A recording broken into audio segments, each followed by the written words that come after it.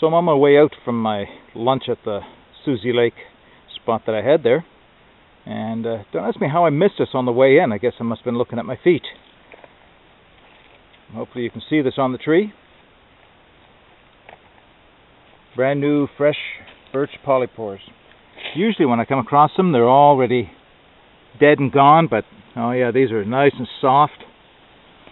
No bugs haven't gotten to them yet. We're going to explore the medicinal use of these and other use, also referred to sometimes as the razor strop fungus. Can be used as a, a band-aid, the soft underside that is. Yeah, we're going to collect one or two of these, take them home, and we'll do a little show and tell on them. Okay, so we're back home now, and I have the birch polypore mushrooms that I collected at Susie's Lake. It's actually been a few days since it was out in Susie's Lake, I wanted to go back and do a little bit more research, just confirm what I already knew before sharing that with you. And that brings up a very good point, a place where we need to start. If you're going to go into the woods and you're going to collect plants of any type, be they mushrooms or otherwise, and you're going to consume them either as food or as a medicinal, you have to do the research first. Please do not take my word for this that these are of value to you. You have to do your own research. Having said that, uh, this is a great plant to look at and we're going to set up on the countertop right now to have a closer look and talk a little bit about what their uses are and how we can uh, use them. All right. Birch polypore, Latin name Piptoporus betulinus. The birch polypore derives its name from two things. One, it grows on birch trees, dead birch trees, hence the name betulinus, and it's a polypore, which means that it has a numerous small pores on its underside where the spore is kept and eventually released uh, so that it can regenerate on other birch trees or on that same birch tree. So that's where it derives its name. Now these are some relatively small examples. You can see how they just barely larger than the palm of my hand, and of course the other one I have here is uh, considerably smaller. Um, but they're still quite fresh. Now it's been a few days since I did take these off the birch tree out in Susie's Lake, but you can see that they're still quite soft. And that's one of the things to look for when you're, uh, if you locate some of these and you're going to decide whether or not you want to harvest them. Probably the primary thing, though, is whether or not the bugs have gotten at them. And more often than not, when I do find them in the woods, you can see holes all through the bottom side, or where it's completely blackened on the bottom side, and you know that the spore has been released. Uh, they're pretty much spent at that point, and uh, not not of much value to you. But in this state, these are not brand new. Uh, they're they're a little older, but they're still in very good usable shape. Now, there is edible value in each of these birch polypore. Uh, however, I haven't eaten them, but I have had the tea made from these, and we'll talk about that in a little bit. And I know that the tea can be kind of bitter. If you choose to try the tea, you may want to have some sweetener at hand, sweetener of your choice to make it more palatable. But it's the medicinal value and other properties of the birch polypore that we're going to discuss today. So medicinally, it may not be as much of a rock star in the bushcraft world as Inonotus obliquus or the famous chaga mushroom, but nonetheless it shares many of the same medicinal characteristics that make it uh, worth looking at. Uh, in ancient times, well, ancient times, years ago, these were consumed as a tea for cleaning out the parasitic worms that infected a lot of our ancestors' uh, stomachs and intestine. It could also be used as a laxative when taken in fair quantity. Uh, it is today, though, still used for a couple of things. One, it has been reported that it will soothe the nerves and eliminate fatigue. But more importantly, and probably the single best reason for using this as a medicinal, is for the immune boosting characteristics that it has. Now, let's just uh, clarify. Immune immune boosting does not necess necessarily mean that it will boost your immune system and fight off a cold or, or any infections that you may have. What it does mean is that it will modulate the the immune system so that the immune system is able to better handle any infections that come into the body.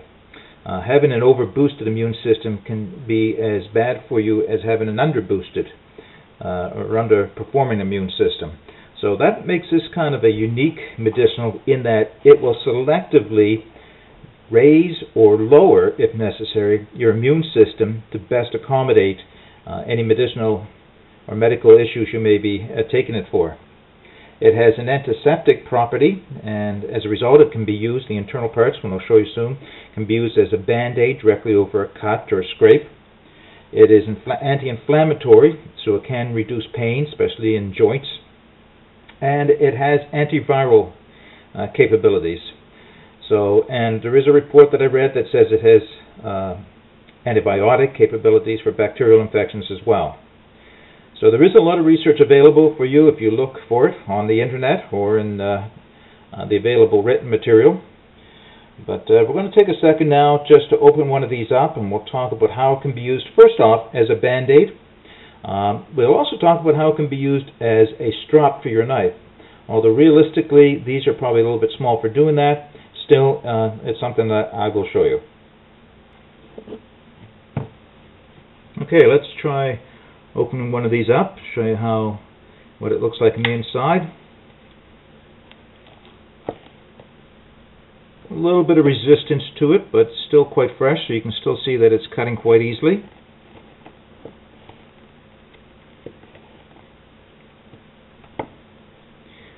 Now you can see it's a very flexible, very clean looking material.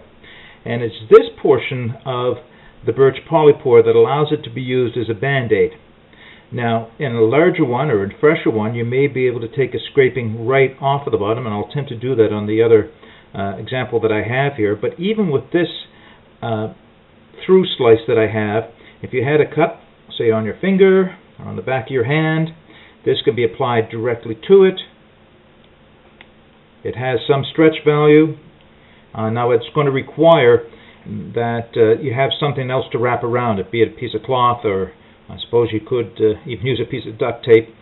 But uh, there is even reports that cuts that have had the birch polypore applied to it not only heal faster, but that they'll heal without scar. Now I don't know that to be true. That's simply a report that I have read in some of the materials. Um, I don't use these as band-aids because more often than not, uh, it's not something I have with me when I sustain a cut. So if I do happen to have it, well, certainly I'll give it a try. But uh, I'd sooner reach into my pocket and grab a band-aid for something I have immediately on me. So that's what it looks like. Still quite fresh, still quite nice. Now, another use for the inside of the birch polypore, as I mentioned earlier, is as a strop for your knife. Now, it's not ready to use in this case, but this can be dried out and it will become like a leather or like a suede, if you will. It'll have a soft texture on the top and especially if you're able to get a piece off of a, a larger specimen, you can use this as a strop for your knife. That is if you don't have one with you, and work it back and forth, and it will be quite effective at maintaining the edge. Of course, it won't take a dull edge to sharp, but it'll maintain the razor sharpness of an already sharpened knife. Now the nice thing about this is cutting it in small pieces like this, it can be dried and kept and it will not lose much of any of its medicinal value. So rather than see this thing go to waste, what we'll do is we're going to slice it up and keep it in small pieces like this. Uh, it can be kept for quite a long time and still be usable. So this is also the way you want to cut it if you're going to use it for making tea, so that you have a piece that you uh, put in the pot and slimmer slowly, and we'll talk about that in a second. Interesting fact, Otzi the Iceman is reported to have had a piece of birch polypore on a leather thong around his neck. Now, whether he kept it as a charm, whether he kept it as a medicinal, whether he kept it for uh, coal burning or fire lighting, uh, that's unknown. All of those have been proposed, and maybe he used it for all of those. But this is something that has been around for a long time and recognized for its value both as a, both as a medicinal as well as a, a practical use of, say, band-aids or sharpening, or not sharpening so much as maintaining the edge on a sharp knife. Alright, I'm going to cut the rest of these up, and uh, we're going to use one of these to, to um, make some tea from, and the rest I'm going to dry out for myself. Before I do that though, I am going to attempt to see if I can remove a piece from the bottom of the larger of the two specimens here so that it could be used as a band-aid directly. I suspect it's maybe a little old, but let's give it a try. So what I might do is take my knife,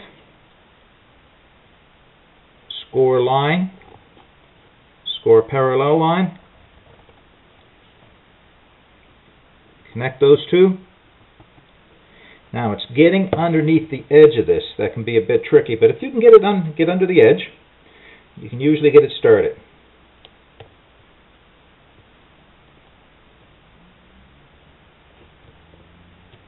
Uh, this might be a little old. Let's give it a try here. Yeah, I think it might be too old.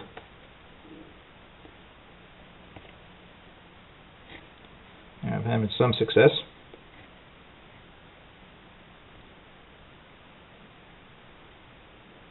There we go. Alright, so this is fresh, clean, sterile, antiseptic properties, antibacterial properties, antiviral properties.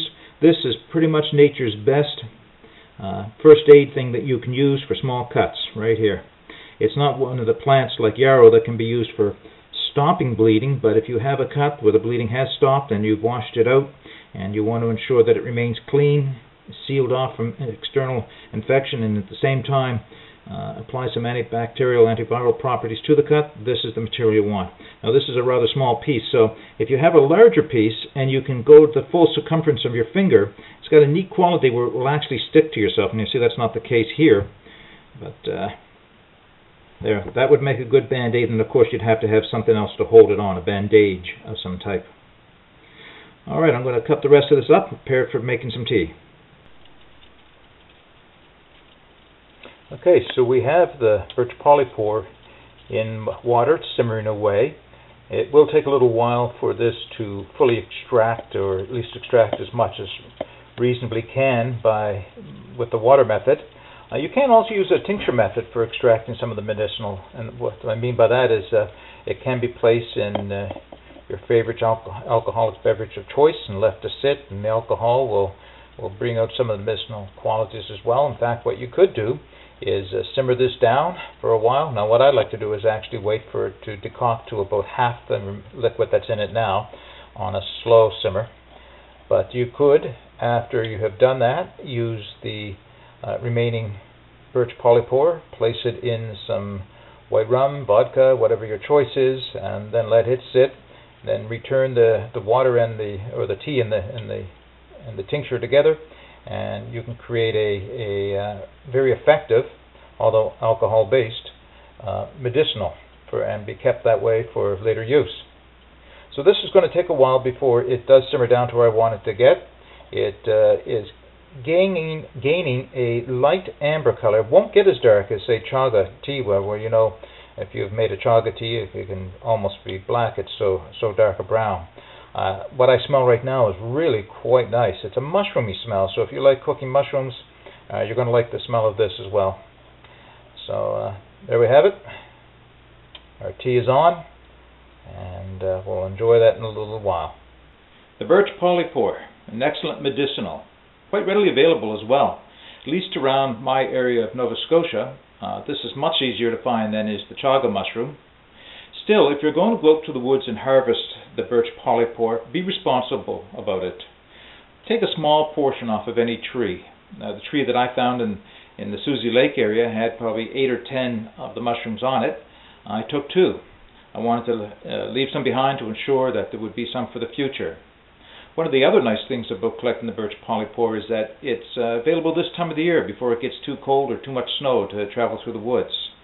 It also grows quite quickly, especially compared to chaga. So uh, when you take some from a tree, there's a good chance that when you come back the next year, you'll find a new crop of the birch polypore on the same tree. So if you like this video and you'd like to see more, then please subscribe. Also, hit the like button and leave comments below. See you soon.